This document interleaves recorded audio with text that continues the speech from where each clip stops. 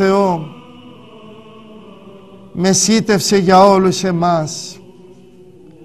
Άγιε Σάβα που με το φωτεινό σου παράδειγμα μας έδειξες από παιδί 16 χρονών, 15, 14 που ήρθες στο μοναστήρι για να ακολουθήσεις τον Χριστόν. Άγιε Σάβα ευλογημένε, έχεις τόσα πολλά χαρίσματα από τον Θεό. Παρακάλεσε για όλους εμάς τους τελευταίους του 8ου αιώνος, τους 8ήτες, 8ος εκκλησιαστικός αιών, ο τελευταίος αιών, παρακάλεσε για μας Άγιε του Θεού, που εσύ αξιώθηκες να βλέπεις το πρόσωπο του Παναγίου Θεού. Ω Άγιες Σάβα μου, γλυκές μου ψυχούλες, ο Άγιος μας Σάβας έχει λάβει το χάρισμα από τον Θεό να θεραπεύει να θεραπεύει τον ξορκισμένη αρρώστια αυτή που υπάρχει στην εποχή και τώρα με το ευξημένη ραδιενέργεια η οποία έπεσε σε όλο τον κόσμο. Θέλουν να θερήσουν τον κόσμο. Θέλουν να το λιγοστέψουν τον κόσμο. Και βλέπετε ο Άγιες Σάβα Συ που έχεις το χάρισμα Συ να θεραπεύεις τους ασθενείς που πάσχουν από αυτή την ανία των ασθένειων. Να μας φυλάς από κάθε κακό. Άγιες Σάβα αυτό είναι το παρεκκλήσιο του Αγίου Νικολάου το οποίο όταν ήρθε ο Άγιος Σάβας εκεί είδε ότι ήταν ό,τι έπρεπε για μία εκκλησία και την αφιέρωσε στην εκκλησία την εκκλησία στον Άγιο Νικόλαο μας τον Επίσκοπο Μοιραίων. Στην Αθήνα ένα ολόκληρο αντικαρκυνικό νοσοκομείο το έχουν αφιερώσει στην ονομασία του Αγίου Σάβα. Αυτά που βλέπετε τα κρανία έχουν σχηματιστεί σταυρό. Είναι σπάνιο αυτό.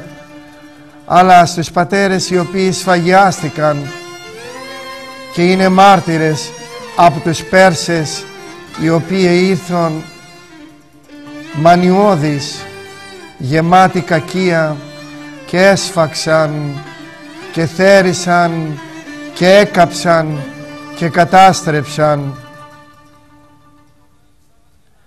Όπως ξέρετε ο Άγιος Σάβας παρουσιάστηκε όταν τον κλέψανε οι σταυροφόροι του Πάπα που όλα όπως λέει ο Άγιος μας Κοσμάς είναι να καταράστε τον Πάπα ότι αυτός πολλών κακών αιτία είναι. Ο Άγιος μας Σάβας φανερώθηκε στον τότε Πάπα και του λέει έκτισα το μοναστήρι αυτό.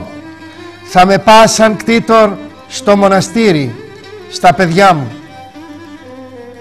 και τότε δεν ήθελε ο, ο Πάπας και μία και δύο και τρεις φορές θα πεθάνεις του λέει θα πάθεις κακό δεν τον άκουσε και πράγματι έπαθε κακό και επέθανε. Βλέπετε άλλο κρανίο έχοντας το σταυρό σχηματισμένο. Ακόμη θέλω να σας πω ότι ο νέος Πάπας φοβηθείς μήπως πάθει τα ίδια τα οποία έπαθε ο προκάτοχός του το επέστρεψε το λείψανο του Αγίου το ολόσωμον στην μονή του μεγάλη χάρη έχουν οι κτήτορες των μονών μαζί με όλους, με όλα τα παιδιά τους. Αφήνονται οι αυμαρτίες τους και ο Θεός βλέποντας τον αγώνα τους τον οποίον κάνουνε για να κτίσουνε μοναστήρι εν ημέρα κρίσεως η ζυγαριά βαραίνει προς την αθωότητα και σώνονται. Μακάρι αυτοί οι άνθρωποι που ο Θεός θα τους αξιώνει να είναι πρώτη γενιά μέσα σε ένα μοναστήρι. Μακάρι οι κτήτορες των μονών είναι οι πρώτοι που μνημονεύονται των κτητόρων των Αγίων του Θεού Εκκλησιών και πάντοτε μνημονεύονται αλλά και οι αμαρτίες τους αφήνονται. Όλα αυτά τα κρανία είναι μαρτύρησαν γιατί τους έσφαξαν οι Πέρσες επιδρομής στην Ιερουσαλήμ. Άγιοι Πατέρες που εορτάζουμε, Άγιοι Πατέρες που έχετε βρει παρησίες των Θεών,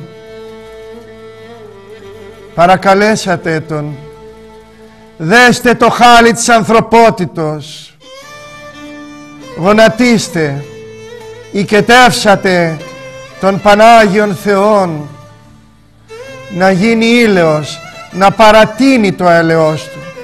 Παράτηνον το έλεος Σου της γινώσκους είσαι. Γλυκές ψυχούλες, ας αγωνιστούμε περισσότερον. Με μία μικρή πακούλα δεν θέλει πολλά αυτά που έκαναν τον 5ο και τον 6ο αιώνα οι Άγιοι Πατέρες. Ο Θεός θέλει απλά την υπακοούλα μας και αυτή τη λαμβάνουν οι άγγελοι και αυτή την παρουσιάζουν εις τον Θεόν και έρχεται και το έλεος του Θεού και σώζεται ο άνθρωπος και πάει στην το χαρά που υπάρχουν όλοι οι Άγιοι. Θέλετε Άγιο Σάβα θα τον δείτε. Θέλετε Άγιο Νικόλαο θα τον δείτε. Θέλετε Άγιο Ευθύμιο θα τον δείτε. Θέλετε τον Άγιο Σισόη θα τον δείτε.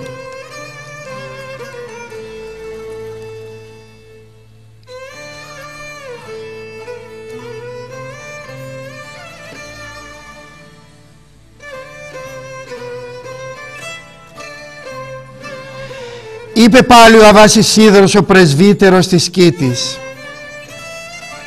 Μίλησε κάποτε στους μοναχούς και τους είπε «Αδελφοί, Αδελφοί, Ω αδέρφια μου, δεν ήρθαμε εδώ για να βρούμε κόπο; Δεν ήρθαμε μες στο μοναστήρι για να βρούμε κόπο; Ήρθαμε να βρούμε άνεση; Και τώρα πλέον δεν είναι κόπος. Εγώ λοιπόν παίρνω την προβιά μου και πηγαίνω όπου είναι κόπος και εκεί βρίσκω ανάπαυση μέσα στο μοναστήρι όταν κοπιάζω. Άγιε μου Σάβα βλέπουμε ότι τον έχουν κομματιάσει γιατί οι σταυροφόροι που τον πήραν εκεί δεν τον αφήσανε από ό,τι έμεινε από τους σταυροφόρους και πάλι η αγιοσύνη του Αγίου μας Σάβα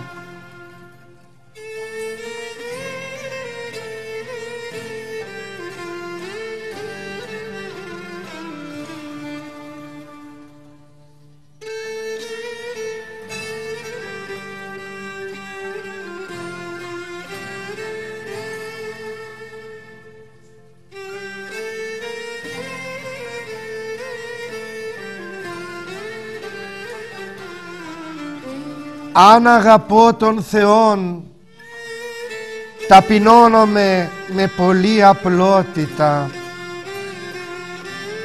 Όποιος προσεύχεται ενόμνηση κακή σπέρνει στη θάλασσα. Ο ασθενής κατά την ψυχή που διορθώνει τους άλλους ομοιάζει με τυφλό που δείχνει στους άλλους το δρόμο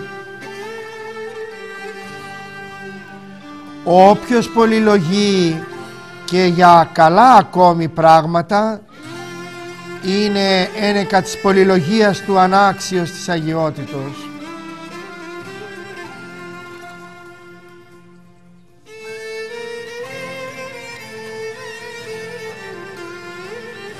Σοφροσύνη και συνομιλίες με γυναίκες είναι λένα με πρόβατο στο ίδιο δωμάτιο.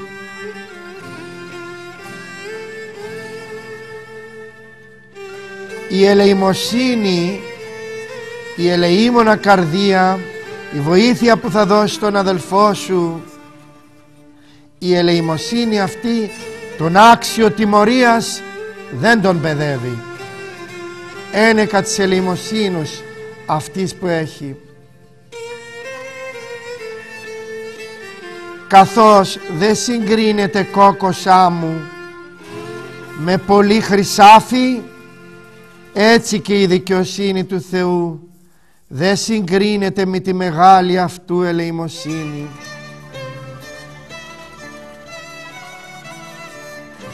Όποιος απέκτησε ταπείνωση νεκρώθηκε για τον κόσμο και τα σωματικά πάθη.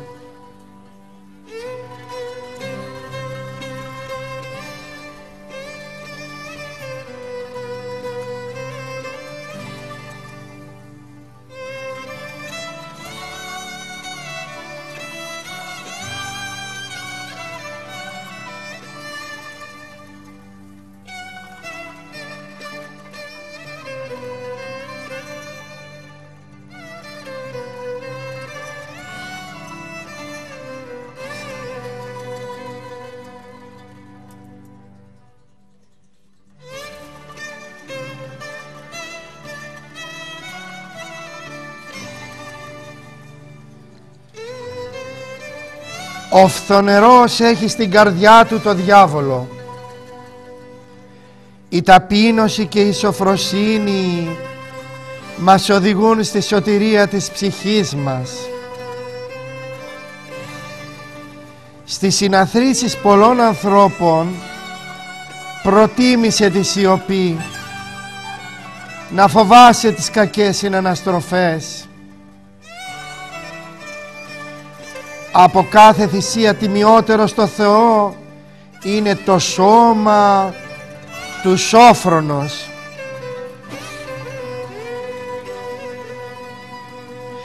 Ο μωρός και ανόητος ζήλος διώχνει την ειρήνη της ψυχής. Όποιος με ζήλο επιδιώκει να θεραπεύσει ξένα σφάλματα αποδιώκει την υγεία της ψυχής του.